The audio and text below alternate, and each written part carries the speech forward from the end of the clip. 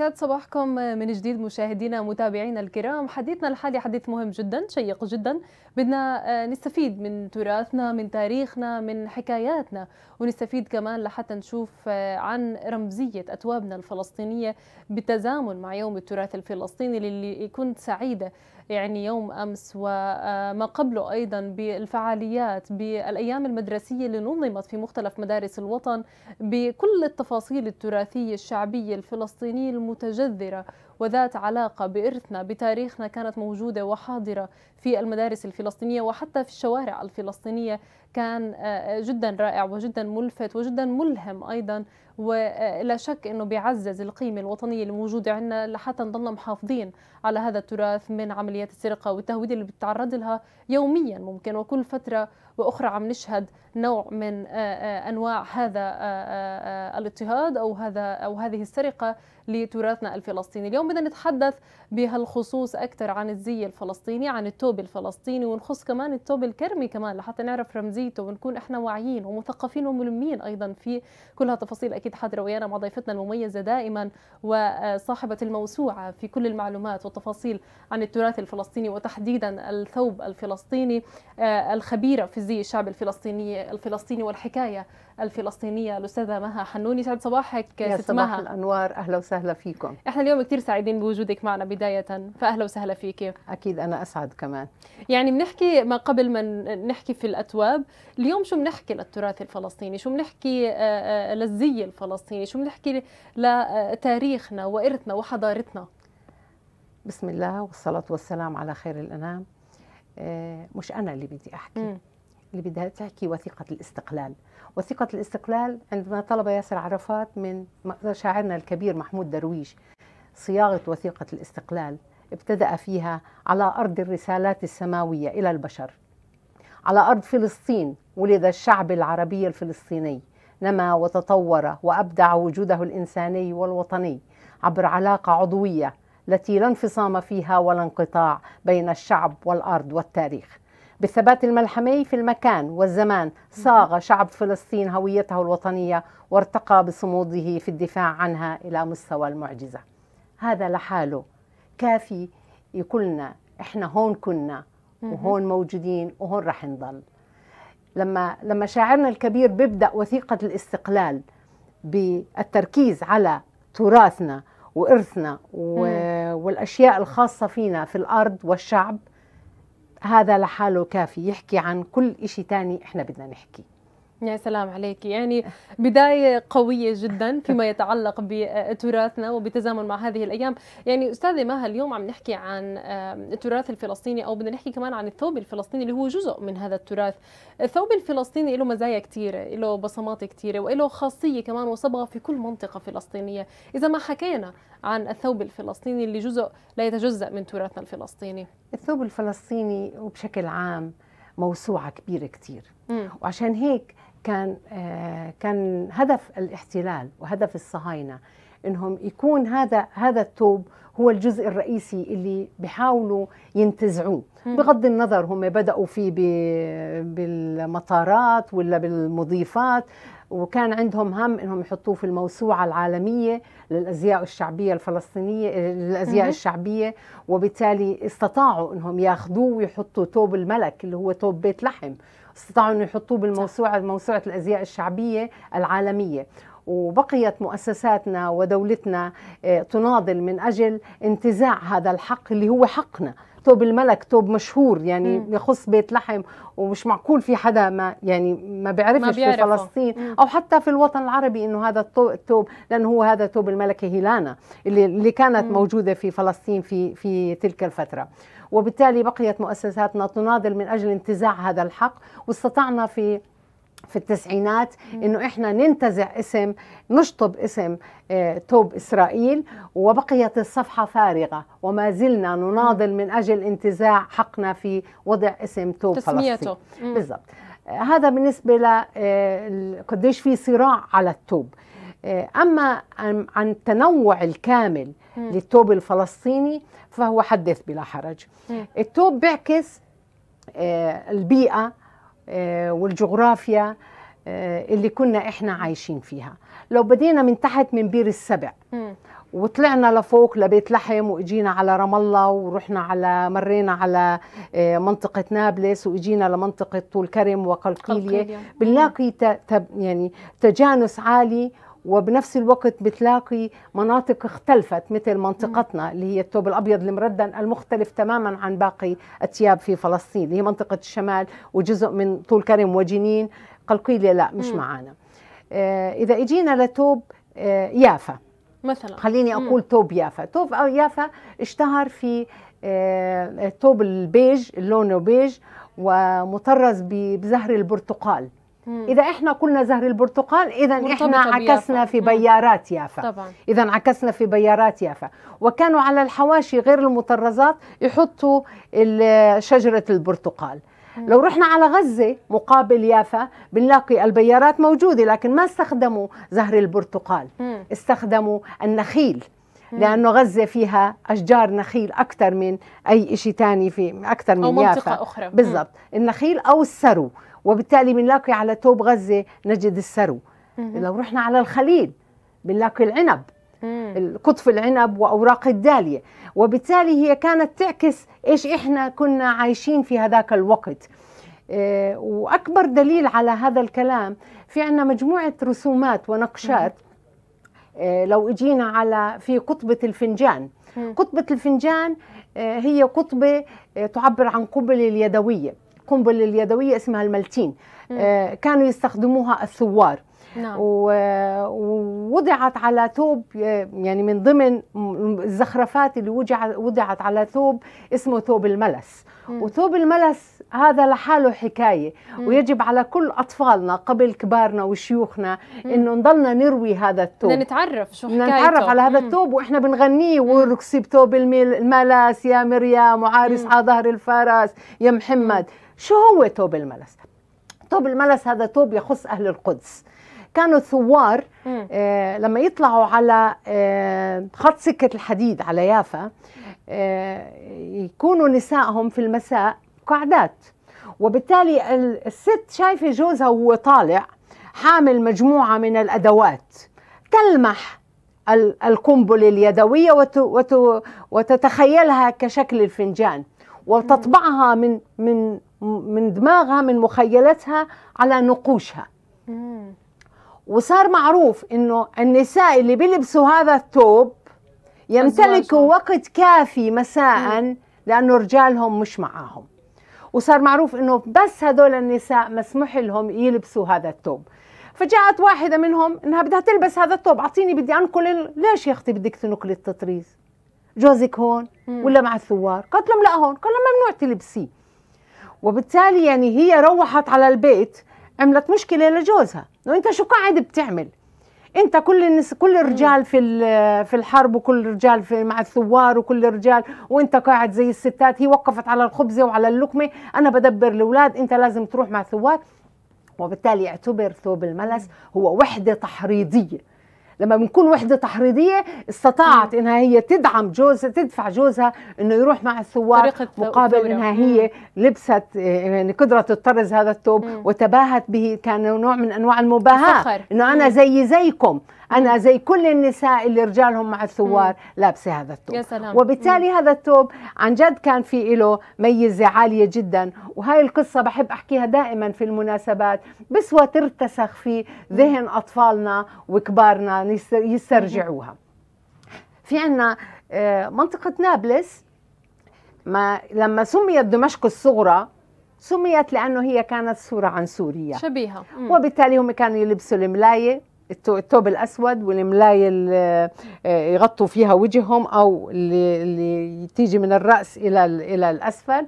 وبالتالي ما كان في عندهم آه، ثوب مطرز. بعكس القرى يعني في عندنا رفيديا في عندنا عصيرة آه، اشتهروا مثلا بالعصبه الخضراء.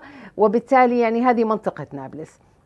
لو اجيت لمنطقة طول كرم وهي هذه اللي أنا بحب أحكي كثير عنها. بحب أحكي كثير عنها لأني ليش؟ أنا بعتبر آه، إنه طول كرم كمدينة أو كمحافظة آه، انظلمت في الثوب الفلسطيني. كيف؟ ما اخذت ما أخذت حقها. ما أخذت حقها. إحنا اليوم لما بنقول انت انت عم تحكي إنه أنا كنت مبسوطة كثير وأنا شايفة.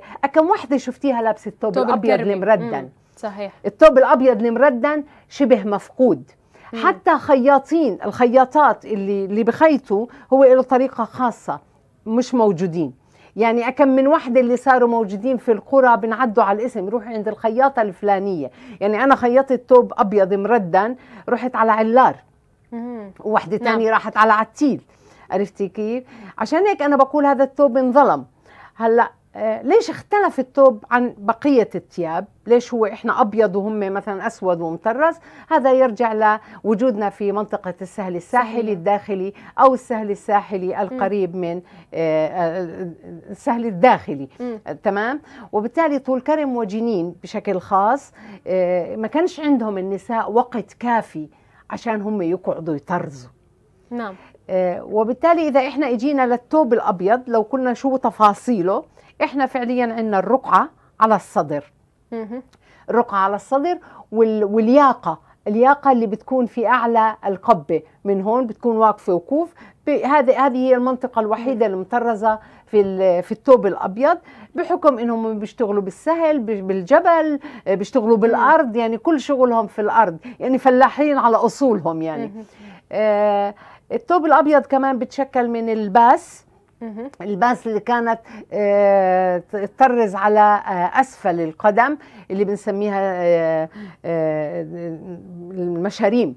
بتشرمها بشكل مثلثات وبتطرز عليها فقط هذه المنطقة هذا الإشي اللي كان يتطرز على كألوان كألوان إذا مم. اجينا للألوان مم. آه، المزبوط بدي أجل شوي okay، الألوان تمام، لأنه تمام. لهم لهم آه، خصوصية شوي ورمزية. الألوان okay، هلأ تمام. بدنا نحكي عنها مم. بدي أرجع على تفاصيل الثوب الأبيض مم. حكينا عن الثوب كثوب الرقعة اللي هي على الصدر اليا- الق- الياقة اللي هي على القبة بنيجي للباس وحكينا عن المطرزات الموجودة عليه نيجي للزمات اللي بتكون موجودة. ليش هو أبيض مردن لأنه هو له ردانات طويلة وبتنعقد إلى الخلف. تمام؟ وبالتالي مازال مازال هو مردن وطويل. اذا هاي المنطقة صارت مكشوفة. بلزم إنها. تتستر بالزمات. تمام؟ على الرأس آه، موجود الخرقة اللي هي اليانسة البيضاء. الخفيفة. بالضبط. 100% آه، بيجي عندنا كمان آه، تحتها الشلحة الفيبر الفيبر نوع من أنواع القماش. بكون بتكون لابسته تحت الثوب الأبيض لأنه الأبيض شفاف. يعني بخايل ما بزبط تلبسه طبعاً. بدون شلحة.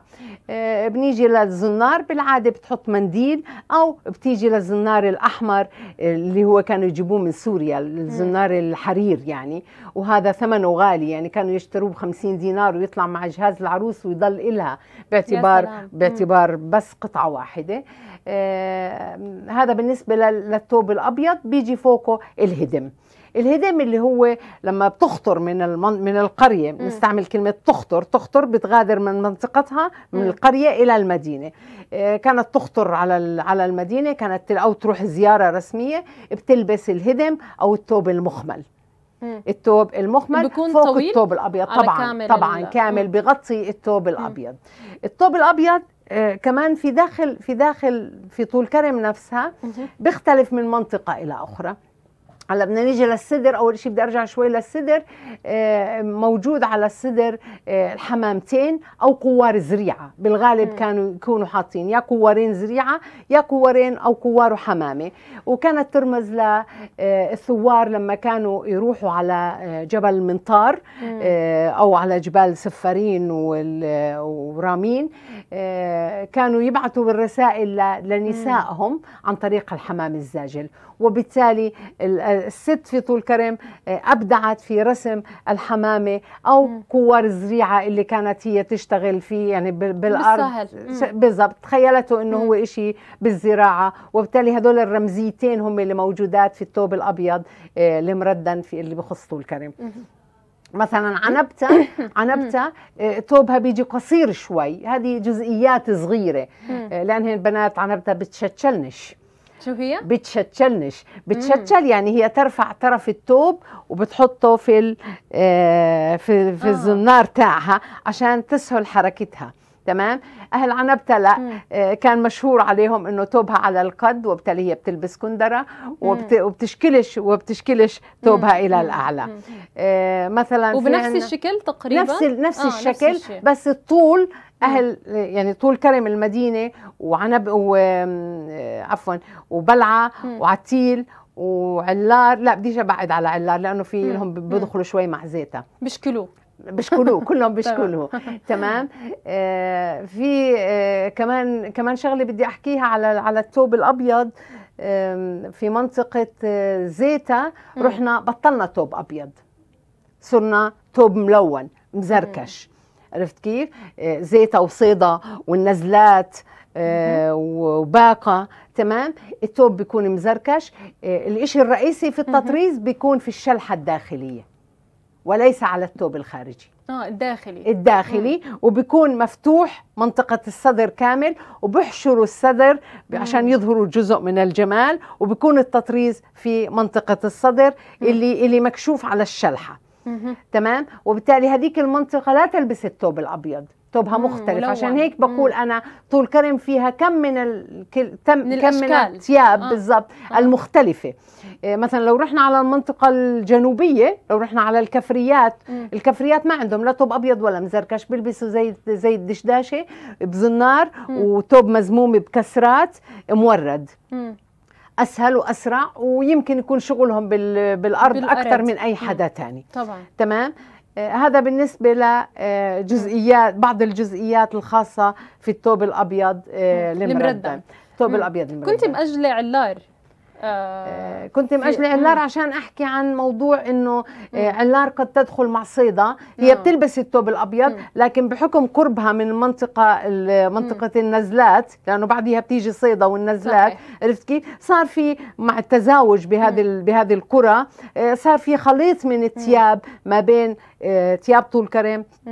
وثياب المنطقة اللي اللي فيها نزلات وباقة مهم. تمام؟ يعني ما شاء الله عليكي موسوعة. آه، وأنا مستمتعة كمان بطريقة وأسلوب ال- ال- ال- الحديث ولا شك يعني خبرتك رائعة في مجال آه، الحكاية. كنت بتساءل حول آه، بقضية ما قبل الألوان اللي كنت بدي أحكي فيها لأنه بلا شك إنه إلها رمزيتها ممكن.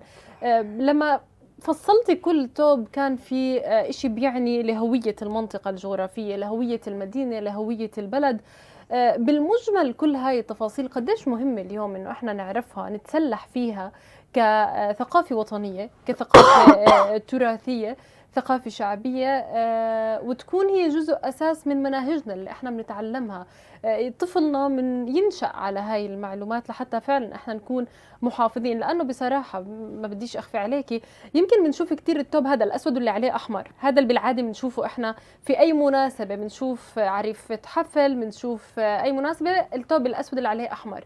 لكن بنجهل إنه إحنا كل بلد لها خصوصيتها وبالتالي قديش هذا بيرجع إنه مسؤولية آه، التثقيف. التراثي الشعبي للأجيال هو آه، اللي بتحكيه مية في المية إحنا بنشتغل عليه مم.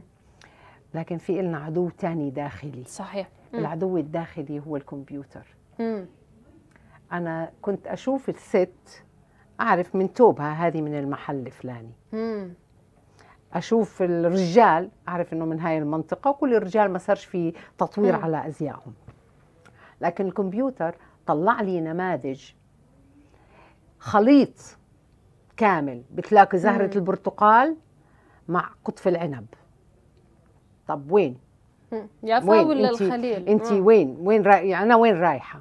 عرفت كيف آه هلأ آه وعم بتطور يعني حلو حلو التطور لكن حلو المحافظة على النمط الرئيسي مم. مم.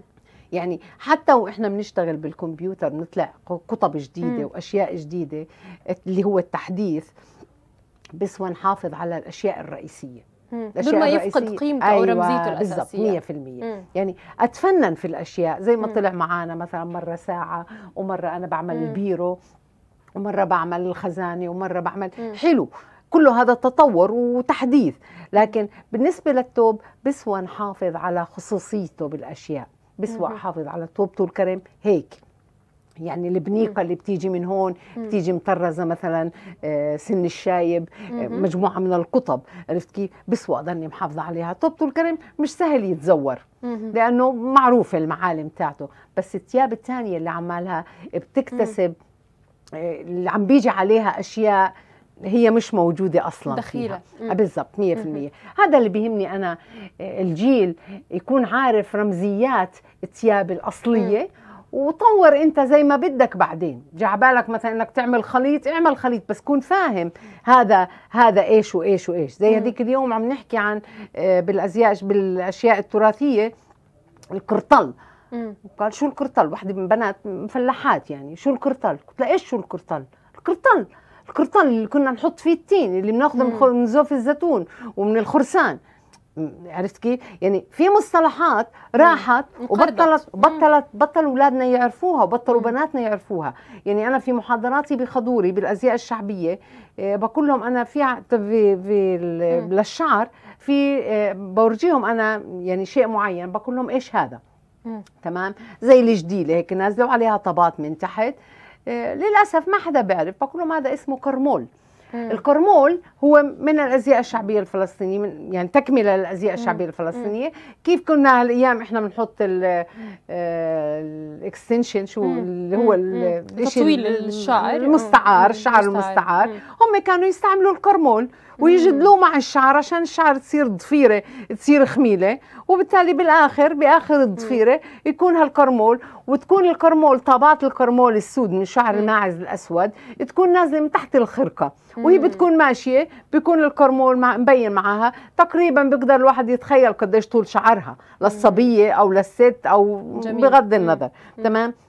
يعني في جزئيات صغيرة بكل تفاصيل التوب تاعنا. بسوى على الأقل يعني لو بدينا في مبادرة توبنا الأبيض المردن إحنا آه، بصراحة مع وزارة الثقافة كل سنة بنعمل في المدارس في الصفوف العليا ما لا يقل عن عشر محاضرات في أكثر نعم. من مدرسة بالمحافظة. بنتامل إنه نكون طلعنا بنتيجة مع إن شاء الله. الطلاب والطالبات. إن شاء الله. يعني إحنا لضيق الوقت الحديث يطول في آه، في هذه الموضوعات وأنا سعيدة جدا برواياتك والقصص.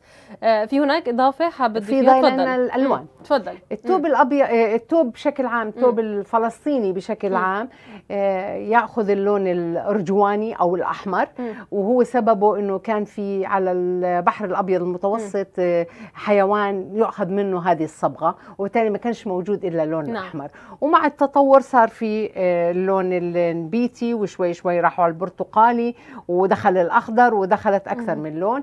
آه، في في شغلة بالمرأة هذا هذا للصبايا والنساء المتزوجات باخذوا اللون المزركش بحطوا فيه شوية ذهبي إذا رحنا على إذا شفنا نوع من التطريز آه، يميل للأزرق مم. بنعرف إنه هذه هذه الست أرملة.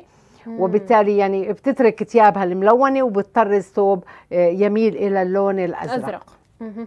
فست فطول كرم طبعا. ما, ما بدنا ندور كيف كيف بده يصير ثوبها أزرق. آه كانت الست في طول كرم لما تترمل آه بتنيل ثوبها. إذا بتسمعي كلمة نيلة تنيلك. بالضبط نيلة تنيلك. عرفت كيف؟ نيلة. هلأ هم كانوا من باب النظافة ينيلوا الثوب الأبيض. إنه برجع ناصع. لكن هي بتزيد الصبغة بال... بتزيد النيلة أكثر وقت وفاة الزوج بحيث إنه يصير ثوبها أبيض مزرق. وبالتالي بتعرف وبتضلها يعني مزرق معاملته باللون الأزرق إلى حين إنها يتقرر إنها يبدأ تفك الحداد. بجوز نعم. سنة بجوز سنتين بجوز خمسة بجوز سبعة. مم. فإذا فكت الحداد تعرف إنه هي آه، يعني جاهزة ممكن تتزوج مرة, مرة ثانية. وممكن هلأ بتصير حتى لو تزوجت مرة ثانية بتضيف للتطريز لون إضافي مع الأحمر يغلب عليه لون أخضر. إنه هي هلأ تزوجت مرة ثانية وبالتالي صار هدول اللونين مشهورة هي فيهم. هذا بشكل عام عن الثوب الأبيض الأشياء الأزياء الشعبية الفلسطينية في فلسطين. آه طبعا لضيق الوقت أنا طبعًا. بقدرش أحكي كثير لأنه هي فعلا شيء عميق كثير بالضبط 100% والثوب الأبيض بشكل خاص. آه في مبادرة جميلة. جدا وبسوى نضلنا نعيدها ونذكر الناس فيها عملتها مدرسة شويكة الثانوية اللي هي حطت فيها الأزياء الشعبية الفلسطينية وهي مجموعة كبير من الصبايا. وبس يكون في كل مؤسسة من مؤسساتنا موجودة هذه الخريطة كل الاحترام. على كل الاحترام. يعني أشكرك جزيل الشكر السيدة مها حنون خبيرة فيزياء الشعب الفلسطيني وأيضا في الحكاية الفلسطينية على الأسلوب وعلى المعلومات ويطول الحديث في هذا الموضوع. وإن شاء الله بكون لنا لقاءات متكررة إن شاء الله والحديث في كل التفاصيل وكل الجزئيات. شكرا جزيلا لحضرتك. إن شاء الله. شكرا لكم. يعطيكم العافية ومعا وسويا. إن شاء الله. آه، من أجل نشر الثقافه طبعا والمحافظة عليها إن إن شاء الله. جزيل الشكر. أهلا وسهلا. كنا وإياكم مشاهدينا الكرام بهذه التفاصيل حول آه، الثوب الفلسطيني. وتحديدا بتفاصيل أكثر حول الثوب الفلسطيني الكرمي اللي لا شك إحنا بحاجة إنه نتثقف يكون عندنا الوعي الكافي برمزيته بهويته وبتفاصيله لنكون قادرين بالدفاع عنه ونميز إنه هذا الثوب ثوبنا في ظل آه، كل المحاولات الإسرائيلية والاستيطانية في سلبة هذا آه، الإرث وهذا التراث الفلسطيني. مكملين وإياكم والحديث عن معرض شمس بعد هذا الفاصل.